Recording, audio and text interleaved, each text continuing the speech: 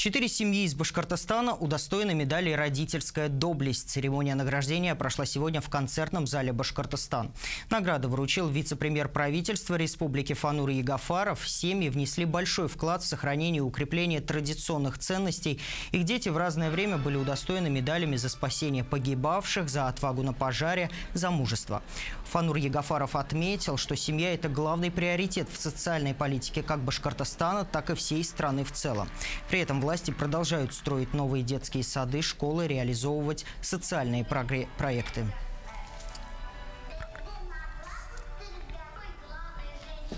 К семье у нашего народа всегда было особо трепетное отношение. Сейчас в Башкортостане проживает более полумиллиона семей с детьми, из них почти 50 тысяч многодетные. Ежегодно республика на поддержку семей с детьми направляет более 12 миллиардов рублей. Медаль «Родительская доблесть» вручается многодетным семьям, опекунам, а также тем, чьи дети принесли славу республике. Наградой могут быть отмечены и усыновители трех и более детей-инвалидов, либо шести и более детей-сирот. Семьи получают денежную премию в размере 100 тысяч рублей.